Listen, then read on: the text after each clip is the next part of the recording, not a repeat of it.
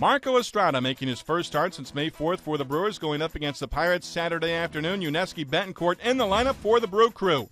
Bottom two, scoreless ball game. Kevin Correia on the hill, and Betancourt trying to get things going for the Brewers. And it's hit in the air to left and deep. Hey, get up! Get out of here! Gone for Betancourt! And he stays hot. Number nine for Betancourt, 1 0 Milwaukee. Call courtesy of WTMJ Radio. Top three, Estrada with a runner at second and two down, facing Andrew McCutchen. He strikes him out looking and he leaves the runner stranded at second. Top four, Estrada facing Neil Walker, swing and a miss. Thanks for coming. The inning is over. Estrada, five innings, no runs, one hit, five strikeouts. Bottom four, Betancourt gives one a ride. This one stays in the ballpark, and McCutchen able to catch up to a great running catch on the warning track before he runs into the wall. Bottom five, Milwaukee threatening. Ryan Braun, though, strikes out against Correia, and the Brewers leave two runners stranded. Top nine, John Axford out of the bullpen trying to preserve a 1 0 lead.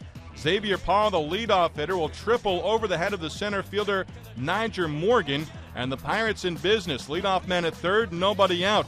Axford gets nasty. Next batter coming to the plate, McCutchen, infield in. Ball hit on the ground to short. Betancourt freezes the runner at third.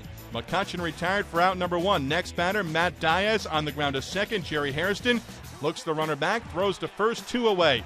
Next batter, Garrett Jones walks. That puts two on for Walker as he faces Axford. Here it is. Hey, swings and misses. Struck him out in the dirt. Lucroy gets to it and throws him out. And this game is over. What a ball game in Milwaukee on Saturday afternoon. Final call courtesy of WTMJ. Five Milwaukee pitchers combining on a 1 0 win. Brewers now 15 2 over their last 17. Estrada the victory. Axford the save is 34th. Pirates prior to the ball game placing Derrek Lee on the DL. Lee on the shelf with a fractured bone in his left wrist.